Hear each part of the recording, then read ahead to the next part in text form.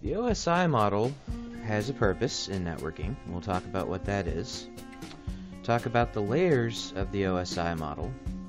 And then talk about a useful mnemonic for remembering these layers. Please do not throw sausage pizza away. Now the purpose of the Open System Interconnection Model, or the OSI model, is to provide a conceptual model that allows a networking system to be abstracted into multiple layers. Each layer in the networking system is simplified to communicate with the layer below it and provide an interface to the layer above it. So this is a conceptual model whose purpose is to try to simplify the way that we design, communicate, and think about how a networking system would be implemented by separating out all the details into discrete layers where each layer maintains a certain amount of independence from the other layers. There are seven layers in the OSI model. Starting from the bottom, we have layer 1, which is the physical layer. Layer 2 is called the data link layer and sits immediately above the physical layer. Layer 3 the network layer sits immediately above the data link layer. Layer 4, the transport layer, sits above the network layer. Layer 5, the session layer, sits above the transport layer. Layer 6, the presentation layer, sits above the session layer. And finally, layer 7 is the networking application itself, which conceptually communicates with the presentation layer. Now of all these layers, the physical layer is the only one that strictly requires hardware. The remaining layers of the OSI model can be implemented entirely in software. I do have to give a slight footnote to that in that we can implement entire virtual networking systems that exist entirely in software and have a virtualized physical layer. Uh, however, that's a bit beyond the scope of our discussion today. So at the lowermost layer, we have the physical layer. This is at the bottom of the OSI model. This layer specifies electrical and physical properties of a network connection. These electrical and physical properties include such things as the voltages that are going to be used by the connection, assuming the connection is an electrical one, uh, the pin layouts for how the different voltages are going to be connected to circuits, the types of signals and modulation that are going to be used, the types of cable that are going to be used with the connection, and so forth. Not all physical layer connections are necessarily electrical. For example, we have radio wave connections with wireless networking, and we also have optical physical layers for fiber optic connections. An important purpose of the physical layer is to physically isolate different electrical or optical circuits from each other. This is important because without this type of isolation, a malfunctioning device attached to a network could prevent the entire network from operating. The physical layer works on streams of bits. This layer is responsible for getting groups of bits from one machine to another, and it does this by encoding and decoding the bit streams into an analog transmission signal. Ultimately, despite the fact that we talk about digital communications, ultimately, at a physical level, all communications are done using analog signals. And once we have a physical layer in place, we can move on to the data link layer and this provides a link directly between directly connected systems. In other words, if we have two systems that are cabled together with a piece of wire, or two systems that are fiber optically interconnected, the data link layer provides a connectivity mechanism between those two systems, and this does so at a higher level than the physical layer. This allows, for example, a line to be shared between two or more systems, arbitrates who can send at any given time, This also performs some physical medium error detection and correction. The physical layer just tries to get the bits from one end to the other. It's up to the data link layer, in most cases, to perform the initial error correction. We often discuss the data link layer in terms of Ethernet systems. In Ethernet, the data link layer is used to transmit data between nodes on the same network segment. So it's used to transmit data from one node on the same network switch or the same network segment and that data is received by another node which can then turn around and transmit a reply back to the original node. So this is what we mean by a data transfer. We have transmission and reception.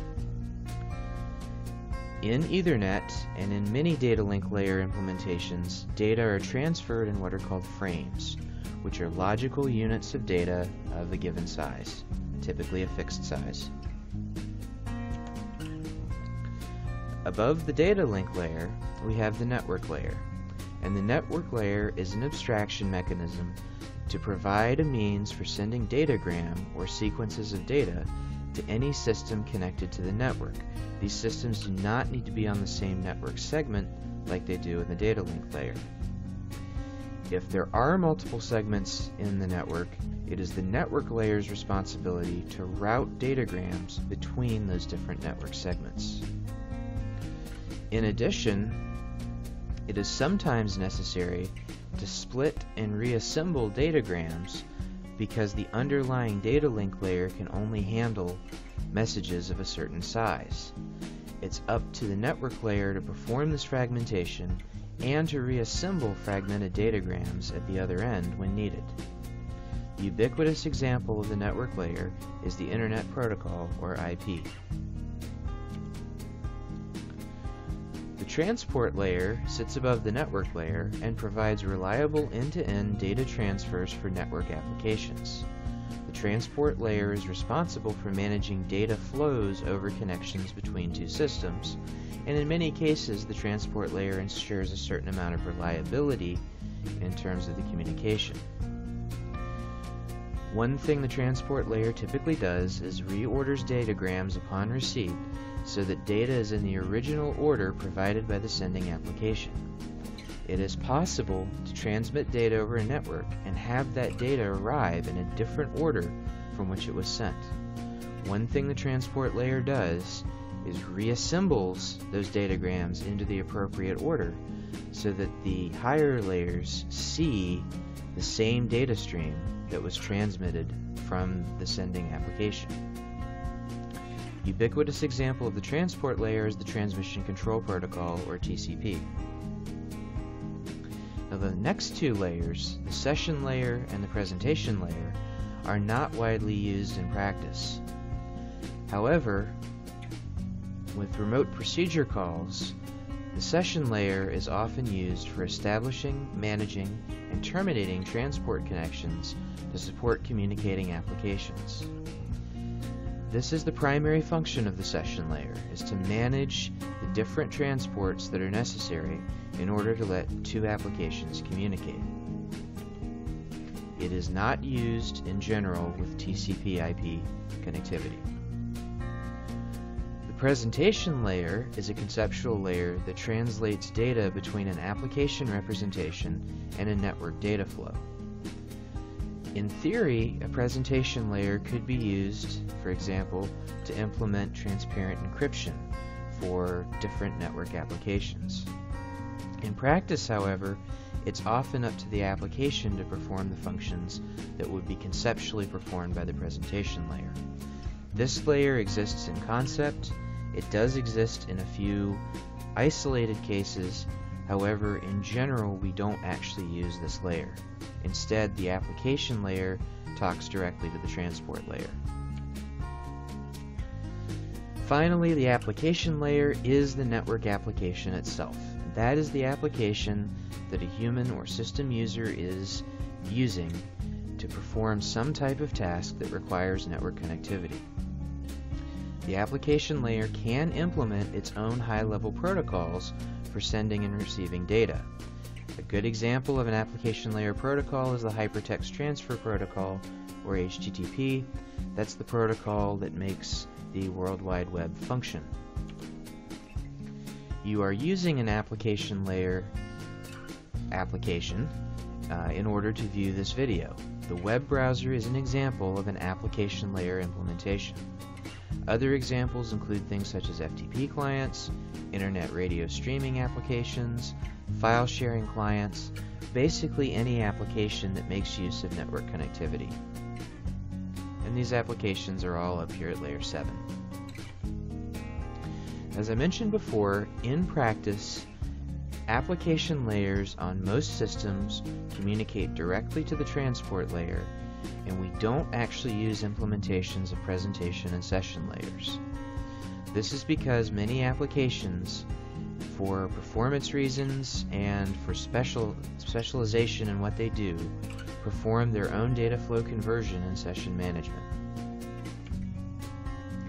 So one way to remember these layers is to memorize the mnemonic, please do not throw sausage pizza away where the please corresponds to the physical layer, D, the do, the D and do corresponds to the data link layer, not corresponds to the network layer, throw corresponds to the transport layer, sausage corresponds to the session layer, pizza corresponds to the presentation layer, and away corresponds to the application layer.